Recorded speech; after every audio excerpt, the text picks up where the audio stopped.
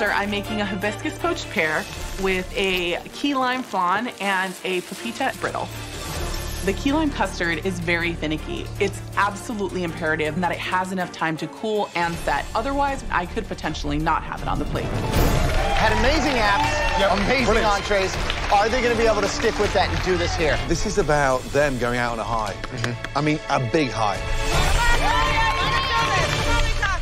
Claudia! Yes, chef. Looks like you're making a dry caramel in this pot. Yes, I'm gonna be making that dry caramel for the brittle, so I've got to get that going. And the pears are poaching right now, slowly. So I'm just making sure to watch my time because obviously these need to be cooked, and that's a risk I decided to take. But you know, it's a risk that I think is definitely worthwhile. All right, luck, good luck. Claudia. Thank you, chef.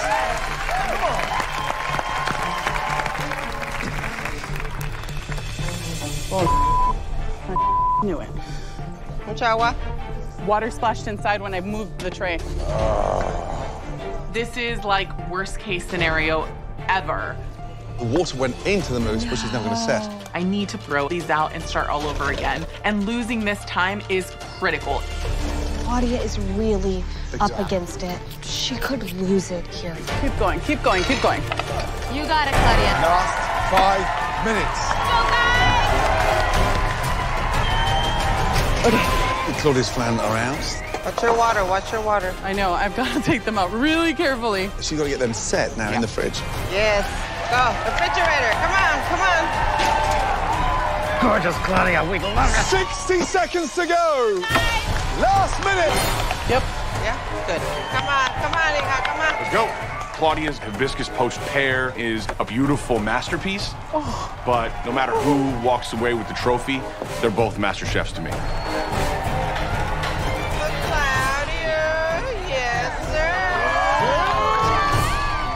Claudia is signing the plates with her initials made out of the sauce. Brilliant. 10, 9, 8, 7, 6, 5, 4, 3, 2, 1, and stop! I hope you're proud. Yes, we are. Rebecca. We are please, both of you, present your stunning desserts.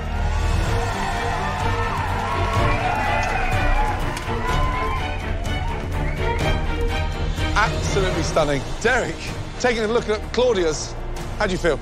It looks amazing. Real honor cooking next door.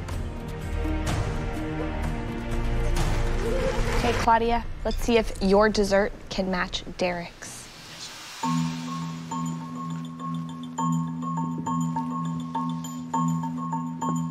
Claudia, please describe your last course for the evening. I've brought you a hibiscus poached pear with a key lime custard and a pepita cinnamon brittle.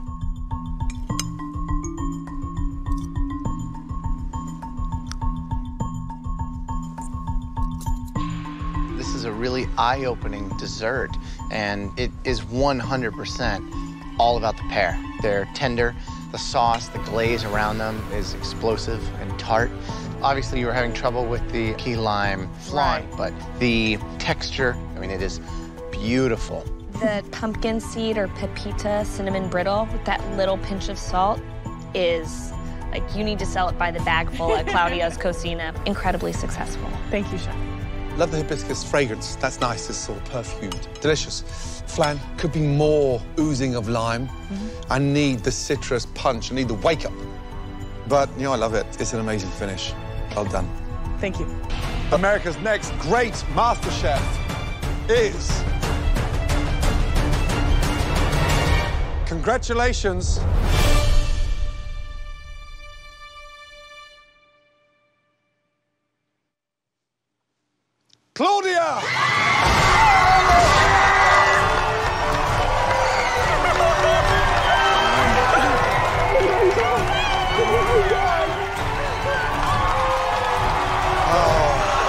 Congratulations. dreams come true. And it doesn't matter where you come from, you can 100 million percent make something happen for yourself if you just dig really freaking deep and become the best version of you possible. Oh my God, honey, I'm honey. This is this is gonna change our lives. I love you were brilliant, okay? Derrick is incredible. I have so much respect for him. he has been a front runner from the beginning of the competition. He pushed me to be the chef that I am today. I love you. Congratulations. Claudia put up one hell of a fight. It was epic and it was a great battle and you know making it this far, I know I, I made my mom proud. And the winner is Claudia! I am the first Latina master chef. Soy la maestra chef.